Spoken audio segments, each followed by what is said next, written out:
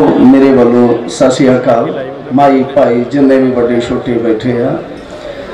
ਸਤਿ ਸ਼੍ਰੀ ਅਕਾਲ ਤੋਂ ਵੀ ਅੱਗੇ ਜੇ ਜਾ ਕੇ ਕਹਾ ਤਾਂ ਤੁਹਾਡੇ ਪੈਰਾਂ 'ਚ ਪੈ ਕੇ ਤੁਹਾਡੇ ਚਰਨ ਵੰਦਨਾ ਕਰਕੇ ਤੁਹਾਨੂੰ ਸਲਾਮ ਕਰਕੇ ਸਤਿ ਸ਼੍ਰੀ ਅਕਾਲ ਹੈ ਮੇਰੇ ਵੱਲੋਂ। ਜੋ ਜੋਸ਼, ਜੋ ਜਜ਼ਬਾ, ਜੋ ਅਲੌਕਿਕਤਾ ਇਸ ਮੰਜ਼ਰ ਚੋਂ ਮਿਲੀ ਹੈ ਮੇਰੇ ਖਿਆਲ ਦੇ ਨਾਲ। ਜੇ ਅਸੀਂ ਮਿਸ ਕਰ ਜਾਂਦੇ ਤਾਂ ਸ਼ਾਇਦ ਮੈਂ ਅਭਾਗਾ ਸਮਝਦਾ ਆਪਣੇ ਆਪ ਨੂੰ। ਖੈਰ 4 ਮਿੰਟ ਆ, ਚਾਰ ਹੀ ਗੱਲਾਂ ਕਰਾਂਗੇ ਆਪਾਂ। ਪਹਿਲੀ ਗੱਲ ਕਿ ਮਸਲਾ ਨਾ ਪੰਜਾਬ ਦਾ ਹੈ, ਨਾ ਕਿਸੇ ਖਾਸ ਮਜ਼ਹਬ ਦਾ ਹੈ। ਮਸਲਾ ਜੋ ਹੈ, ਮਸਲਾ ਸਭ ਤੋਂ ਵੱਡਾ ਇਹ ਹੈ ਕਿ ਉਸ ਮਸਲੇ ਨੂੰ ਕੋਈ ਸਮਝ ਨਹੀਂ ਰਿਹਾ। ਇਹ ਕਹਿੰਦੇ ਆ ਕਿ ਕਿਸਾਨ ਅਨਪੜਿਆ, ਮੈਂ ਕਹਿੰਨਾ ਕਿ ਕਿਸਾਨ ਐਸਾ ਪਾੜਾ ਨਿਕਲਿਆ ਕਿ ਜਿਨੇ ਕਾਨੂੰਨ ਦੇ ਵਿੱਚ ਉਹ ਚੀਜ਼ਾਂ ਵੀ ਪੜ ਲੀਆਂ ਜੋ ਤੁਸੀਂ ਲਿਖੀਆਂ ਹੀ ਨਹੀਂ ਸੀ। ਜੋ ਤੁਸੀਂ ਨਹੀਂ ਸੀ ਲਿਖਿਆ, ਉਹ ਇਹਨਾਂ ਨੇ ਪੜ ਲਿਆ। ਜੋ ਵਾਪਰਨਾ ਸੀ, ਉਹ ਇਹਨਾਂ ਨੇ ਅਗਾਊ ਅਗੇਤਾ ਅੰਦਾਜ਼ਾ ਲਾ ਕੇ ਤੁਹਾਨੂੰ ਫੜ ਲਿਆ। ਨੰਬਰ 1 ਦੇਖੋ ਸੰਵਿਧਾਨਕ ਠੱਗੀ ਕਿਸ ਤਰ੍ਹਾਂ ਵੱਜੀ ਆ? ਬਹੁਤ ਮੌਜਜ਼ ਲੋਕ ਇੱਥੇ ਆਏ ਹੋਣੇ ਇੰਟੈਲੈਕਚੁਅਲ ਲੋਕ ਆਏ ਹੋਣੇ ਆ।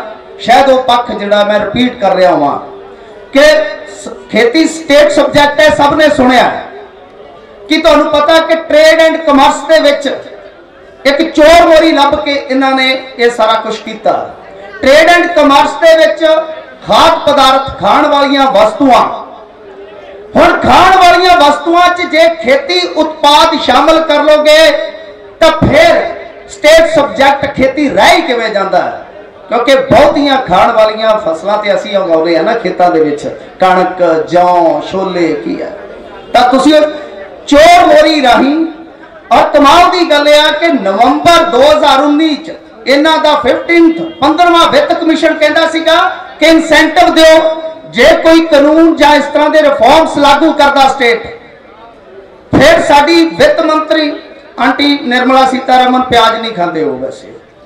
ਉਹ ਨਿਰਮਲਾ ਸੀਤਾਰਮਨ ਫਰਵਰੀ ਚ ਕਹਿ ਰਹੀ ਸੀਗੀ ਕਿ ਜੀ ਅਸੀਂ ਰਿਫਾਰਮਸ ਲਾਗੂ ਕਰਨ ਵਾਲੀਆਂ ਸਟੇਟਾਂ ਨੂੰ ਵੱਖਰੇ ਤੌਰ ਤੇ ਬੈਨੀਫਿਟ ਦੇਣ ਵਾਸਤੇ ਤਿਆਰ ਆ ਫਰਵਰੀ ਚ ਸਰਕਾਰ ਮੰਨ ਰਹੀ ਹੈ ਕਿ ਇਹ ਖੇਤੀ ਸਟੇਟ ਸਬਜੈਕਟ ਹੈ।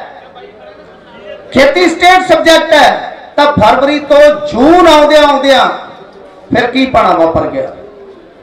ਕਰੋਨਾ ਕਾਲ ਦੇ ਵਿੱਚ ਕਦੇ ਕਦੇ ਕਰੋਨਾ ਕਾਲ ਵੀ ਇਹੋ ਲੱਗਦਾ ਕਿ ਇਹ ਵੀ ਸਪਾਂਸਰਡ ਜਿਹੀ ਗੇਮ ਸੀਗਾ। ਸਿਰਫ ਤੇ ਸਿਰਫ ਇੱਕ ਐਸਾ ਦੌਰ ਲਿਆਂਦਾ ਗਿਆ ਜਿਹਦੇ ਵਿੱਚ ਬਹੁਤ ਸਾਰੇ ਫੈਸਲੇ ਲਾਗੂ ਕਰ ਦਿੱਤੇ ਗਏ। ਦੂਜੀ, ਮੈਂ ਜਿਹੜੀ ਕਹਿ ਰਿਹਾ ਕਿ ਸੰਵਿਧਾਨਕ, ਇਹ ਇੱਕ ਸੰਕਟ ਪੈਦਾ ਕਰਨ ਵਾਲੀ ਗੱਲ ਆ। ਹੁਣ ਜਿਵੇਂ ਯੂਏਪੀਏ ਦੇ ਤਹਿਤ ਆ ਰਹੇ ਆ ਸਾਨੂੰ, ਉਹ ਵੀ ਇੱਕ ਐਕਟ ਹੀ ਇਹਨਾਂ ਨੇ ਨਵਾਂ ਬਣਾਇਆ ਸੀ। ਉਹਦਾ ਸਿੱਟਾ। ਉਸ ਟਾਈਮ ਵੀ ਪੰਜਾਬ ਸਭ ਤੋਂ ਪਹਿਲਾਂ ਬੋਲਿਆ ਸੀ, ਤੁਹਾਨੂੰ ਯਾਦ ਹੋਣਾ ਸਾਡੇ ਇੱਥੇ ਇੱਕ ਉਹ ਵੀ ਲਹਿਰ ਚੱਲੀ ਸੀਗੀ। ਅੱਜ ਤੋਂ 6 ਮਹੀਨੇ ਪਹਿਲਾਂ ਮੇਰੇ ਖਿਆਲ ਦੇ ਨਾਲ ਤੁਸੀਂ ਦੇਖਿਆ ਹੋਣਾ ਬਹੁਤ ਸਾਰੇ ਪੋਲੀਟੀਸ਼ੀਅਨ ਵੀ ਬੋਲ ਰਹੇ ਸੀ। ਉੱਥੇ ਵੀ ਪੰਜਾਬ ਸਹੀ ਨਿਕਲਿਆ, ਅੱਜ ਉਹਦੀ ਕਿਸ ਤਰ੍ਹਾਂ ਦੁਰਵਰਤੋਂ ਹੋ ਰਹੀ ਆ, ਤੁਹਾਡੇ ਸਾਹਮਣੇ ਆ। ਅੱਜ ਵੀ ਜੇ ਦੇਖੋ ਤਾਂ ਇਸ ਲੜਾਈ ਨੂੰ ਜਿਹੜੇ ਗਲਤ ਕਹਿੰਦੇ ਆ, ਸੱਚ ਇੱਥੇ ਵੀ ਇਹੀ ਨਿਕਲਣਾ ਦੂਜੀ ਗੱਲ। ਦੂਜੀ, ਇਹ ਜੋ ਸਰਕਾਰ ਹੈ, ਇਹਦੀ ਨੀਅਤ ਦੇ ਵਿੱਚ ਖੋਟ ਕਿਸ ਪ੍ਰਕਾਰ ਹੈ ਇਹਨਾਂ ਨੇ ਐਮਐਸਪੀ ਤੇ ਜਦ ਗੱਲਬਾਤ ਕੀਤੀ ਟੇਬਲ ਤੇ, ਤਾਂ ਇਹਨਾਂ ਦਾ ਤੁਹਾਨੂੰ ਪਤਾ ਮੀਡੀਆ ਆਪਣਾ ਹੀ ਆ ਨਾ। ਖਾਸ ਇਹਨਾਂ ਦਾ ਬੱਚਾ ਉਹ ਮੀਡੀਆ। ਇੱਕ ਕੌਮੀ ਮੀਡੀਆ ਦਾ ਬਹੁਤ ਵੱਡਾ ਹਿੱਸਾ, ਉਹ ਇਹਨਾਂ ਦਾ ਪੁਚਕਾਰਿਆ ਹੋਇਆ ਬੱਚਾ ਤਾਂ ਉਹ ਬੱਚਾ ਬੋਲੀ ਬੋਲਣ ਲੱਗ ਗਿਆ ਕਿ 17 ਲੱਖ ਕਰੋੜ ਰੁਪਏ ਦਾ ਐਕਸਟਰਾ ਬੋਝ ਪਏਗਾ। 17 ਲੱਖ ਕਰੋੜ ਰੁਪਏ ਦਾ, ਜਿਸ ਦੇਸ਼ ਦਾ ਬਜਟ 30 ਲੱਖ ਕਰੋੜ ਹੈ 17 ਲੱਖ ਕਰੋੜ ਕਿਸਾਨ ਨੂੰ ਕਿੱਦਾਂ ਦਿੱਤਾ ਜਾਊਗਾ, ਇਹ ਝੂਠ ਹੈ। ਸਰਾਸਰ ਝੂਠ ਹੈ। ਕਿਉਂ? ਕਿਉਂਕਿ ਜੇ ਤੁਸੀਂ ਪਿਛਲੇ ਸਾਲ ਦਾ ਡਾਟਾ ਚੱਕ ਕੇ ਦੇਖ ਲਓ ਐਮਐਸਪੀ ਤੇ ਇਹਨਾਂ ਨੇ ਸਿਰਫ 9% ਦੀ ਫਸਲ ਪ੍ਰਕਿਉਰ ਕੀਤੀ ਆ। 9% ਦੀ ਜੀਵੀਏ ਦਾ 7% ਬਣਦਾ 91% ਪਹਿਲਾਂ ਹੀ ਖੁੱਲੀ ਮੰਡੀ ਦੇ ਵਿੱਚ ਫਸਲ ਜਾਂਦੀ ਹੈ। 91% ਔਰ 2 ਲੱਖ 41 ਹਜ਼ਾਰ ਕਰੋੜ ਦਿੱਤਾ ਨਾ ਖੇਤੀ ਉਤਪਾਦਾਂ ਵਾਸਤੇ। ਇਹ ਝੂਠ ਬੋਲ ਰਹੇ ਸੀ।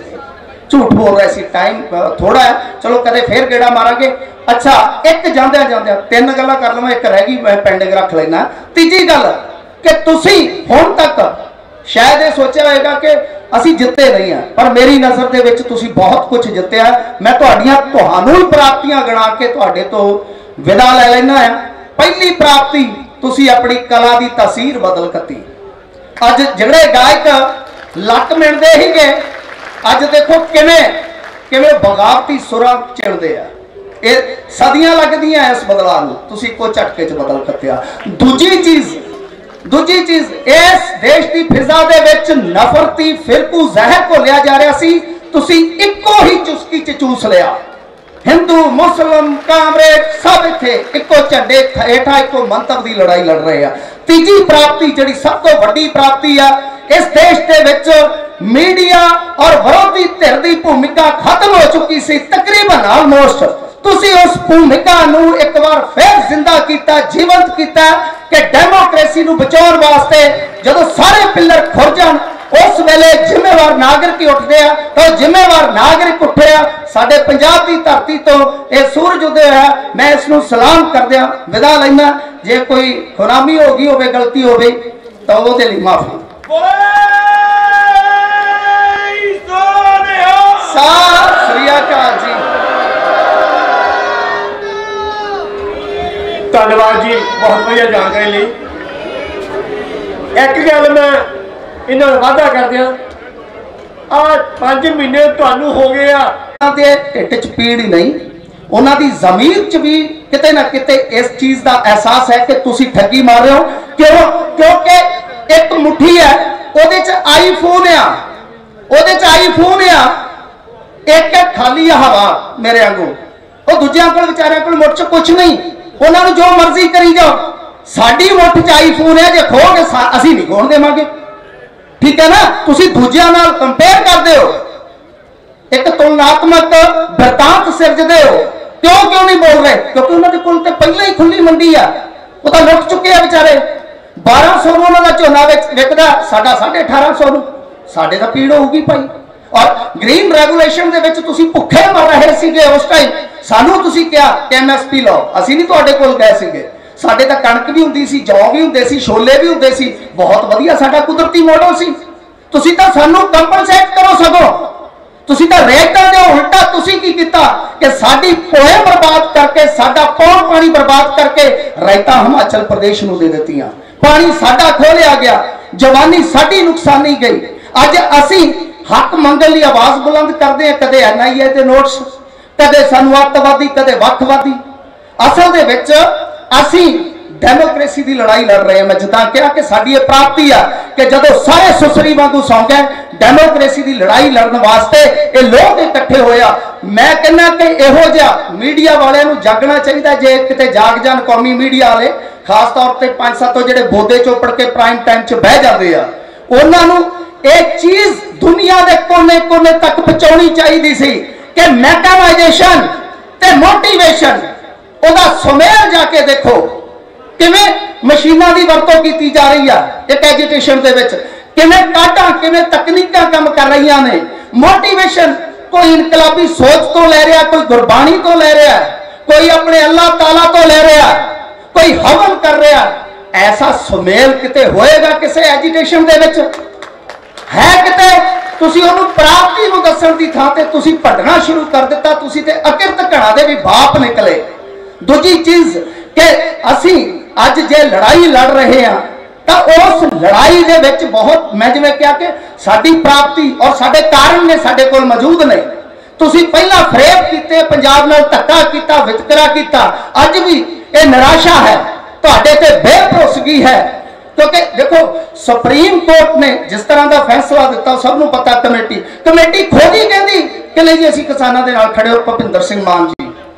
ਕਮੇਟੀ ਨਾ ਕਾਨੂੰਨ ਮੰਗੇ, ਨਾ ਕਮੇਟੀ ਮੰਗੀ, ਸਭ ਕੁਝ ਮਿਲ ਗਿਆ, ਤਾਂ ਕਮੇਟੀ ਦੇ ਵਿੱਚੋਂ ਨਿਕਲਿਆ ਬੰਦਾ ਕਹਿੰਦਾ ਕਿ ਨਹੀਂ ਜੀ, ਮੈਂ ਕਿਸਾਨਾਂ ਨਾਲ ਖਲੋਤਾ, ਚਾਹੇ ਉਹ ਤੁਹਾਡਾ ਦਬਾਅ ਤਾਂ ਇਹ ਇੱਕ ਬਹੁਤ ਵਧੀਆ ਚੀਜ਼ ਆ ਕਿ ਤੁਹਾਡਾ ਪ੍ਰੈਸ਼ਰ ਜਿਹੜਾ ਉਹ ਇੰਨਾ ਜ਼ਿਆਦਾ ਹੈ ਕਿ ਅੱਜ ਸਿਆਸਤ ਜਿਹੜੀ ਹੈ ਸਿਆਸਤ ਵੀ ਕਿਤੇ ਨਾ ਕਿਤੇ ਸੋਚਦੀ ਪਈ ਕਿ ਬਣ ਕੀ ਗਿਆ। ਤਾਂ ਮੈਂ ਸਮਝਦਾ ਕਿ ਤੁਹਾਡਾ ਇੱਕ ਆ, ਨਿਸ਼ਚਿਤ ਤੌਰ ਤੇ ਦੇਖੋ ਆਂਦੇ ਹੁੰਦੇ ਜਦੋਂ ਆਪਾਂ ਖੇਡਣਾ ਹੋਵੇ ਜੰਗ ਲੜਨੀ ਹੋਵੇ ਜਿੱਤਣਾ ਜਾਂ ਸਿੱਖਣਾ ਉਹ ਦੋ ਚੀਜ਼ਾਂ ਜਿਹੜੀਆਂ ਸਾਡੇ ਮੂਲ ਮੰਤਰ 'ਚ ਸ਼ਾਮਲ ਹੋਣੀਆਂ ਚਾਹੀਦੀਆਂ। ਜਿੱਤ ਵੀ ਮੇਰੀ ਮੇਰੀ ਮੰਨ- ਆਪਣੀ ਆਬਜ਼ਰਵੇਸ਼ਨ ਆ ਮੇਰਾ ਮੰਨਣਾ ਹੈ ਕਿ ਜਿੱਤ ਵੀ ਤੁਹਾਡੀ ਹੋਏਗੀ ਔਰ ਸਿੱਖੋਗੇ ਵੀ ਤੁਸੀਂ ਔਰ ਇਸ ਸਿੱਖਣ ਨੂੰ। ਹੁਣ ਤੁਸੀਂ ਪਿੰਡਾਂ ਦੇ ਵਿੱਚ ਜਾ ਕੇ ਜ਼ਰੂਰ ਇਸ ਜਿਹੜੀ ਸਿੱਖਿਆ ਹੋਏਗੀ, ਇਹਨੂੰ ਪਿੰਡਾਂ ਦੇ ਵਿੱਚ ਜ਼ਰੂਰ ਜਾ ਕੇ ਲਾਗੂ ਕਰਿਓ। ਨੰਬਰ 1 ਕਿਸੇ ਤੋਂ ਆਪਣੇ ਆਪ ਦੇ ਮਾਤੜ ਤੋਂ ਵਿਆਜ ਨਾ ਖਾਇਓ ਜਾ ਕੇ। ਵਿਆਜ ਨਾ ਖਾਇਓ, ਆਪਾਂ ਨੂੰ ਪਤਾ ਲੱਗਿਆ ਨਾ ਕਿ ਹੱਕ ਕੀ ਹੁੰਦਾ ਯਾਰ, ਜ਼ਰੂਰਤਾਂ ਕੀ ਹੁੰਦੀਆਂ। ਕਿਸੇ ਦਾ ਹੱਕ ਵੀ ਨਾ ਰੱਖਿਓ, ਆਪ ਤੋਂ ਛੋਟੇ ਦਾ ਹੱਕ ਨਾ ਦੱਬਿਓ। ਏਕਾ ਬਣਾਈ ਰੱਖਿਓ ਇਹਦੇ ਵਿੱਚੋਂ। ਇੱਕ ਪੋਲੀਟੀਕਲ ਬਦਲਾਅ ਵੀ ਕੱਢਿਓ, ਚਾਹੇ ਵਾਤਾਵਰਣ ਪ੍ਰੇਮੀਆਂ ਦੀ ਗ੍ਰੀਨ ਪਾਰਟੀ ਬਣ ਸਕਦੀ ਹੈ, ਸਾਡੀ ਕਿਉਂ ਨਹੀਂ? ਸਾਡੀ ਕਿਸਾਨਾਂ ਦੀ, ਸਾਡੇ ਮਜ਼ਦੂਰਾਂ ਦੀ ਕਿਉਂ ਨਹੀਂ ਪਾਰਟੀ ਬਣ ਸਕਦੀ? ਕਿ ਇਹਨਾਂ ਪਾਰਟੀਆਂ ਨੂੰ ਪੁੱਛੋ ਰਾਜ ਸਭਾ ਕਾਹਦੇ ਵਾਸਤੇ ਬਣਾਈ ਸੀ ਤੁਸੀਂ? ਰਾਜ ਸਭਾ ਕਾਦੇ ਵਾਸਤੇ ਬਣਾਈ ਸੀ ਤੁਸੀਂ? ਰਾਜ ਸਭਾ ਇਸ ਕਰਕੇ ਬਣਾਈ ਸੀ ਕਿ ਜੋ ਪੋਲੀਟੀਕਲ ਸਿਸਟਮ ਦੇ ਵਿੱਚ ਕੋਈ ਗਰੀਬ ਹਮਾਦਰ ਲੜ ਨਹੀਂ ਸਕਦਾ, ਉਹਨੂੰ ਸਿੱਧਾ ਭੇਜਿਆ ਜਾਵੇ। ਕਿ ਪ੍ਰਤਾਪ ਸਿੰਘ ਬਾਜਵਾ ਖੇਤੀ ਮਜ਼ਦੂਰੀ ਕਰਦਾ? ਕੀ ਸ਼ਮਸ਼ੇਰ ਸਿੰਘ ਦੂਲੋ ਰਕਸ਼ਾ ਚਲਾਉਂਦਾ? ਮੈਂ ਸਾਰੇ ਰਾਜ ਸਭਾ ਦੇ ਮੈਂਬਰਾਂ ਤੋਂ ਤੁਹਾਡੇ ਨਾਮ ਗਿਣਾ ਕੇ ਕਹਿਣਾ ਕਿ ਕੋਈ ਹੈ ਨਿਚਲੇ ਵਰਗ ਦੀ, ਹੇਠਲੇ ਵਰਗ ਦੀ ਨੁਮਾਇੰਦਗੀ ਕਰਨ ਵਾਲਾ? ਉਹ ਬਣਾਈਆਂ ਚੀਜ਼ਾਂ ਕਾਦੇ ਵਾਸਤੇ ਸੀ? ਹੋ ਕੀ ਰਿਹਾ? ਤਾਂ ਕੀ ਸਾਡੇ ਵੱਟਾਂ ਤੇ ਫਿਰਦੇ ਨੌਜਵਾਨ ਜਿਹੜੇ ਆ, ਉਹ ਸਿਆਣੇ ਨਹੀਂ ਹੈਗੇ? ਉਹਨਾਂ 'ਚ ਕਾਬਲੀਅਤ ਨਹੀਂ, ਬਹੁਤ ਜ਼ਿਆਦਾ ਕਾਬਲੀਅਤ ਹੈ। ਔਰ ਜੇ ਉਹ ਗ੍ਰੀਨ ਪਾਰਟੀ ਵਾਲੇ ਉੱਥੇ ਇੱਕ ਸਿਆਸੀ ਹੋਣ ਦਰਸਾ ਸਕਦੇ ਆ, ਤਾਂ ਅਸੀਂ ਕਿਉਂ ਨਹੀਂ, ਕਿਉਂਕਿ ਤੁਹਾਡੇ ਕੋਲੇ ਇੱਕ ਆ ਸੋ ਇਹ ਚੀਜ਼ਾਂ ਇੱਥੋਂ ਸਿੱਖ ਕੇ ਆਪਣੇ ਪਿੰਡਾਂ 'ਚ ਵੀ ਲੈ ਕੇ ਖੜਿਓ ਮਿਹਰਬਾਨੀ ਜੀ।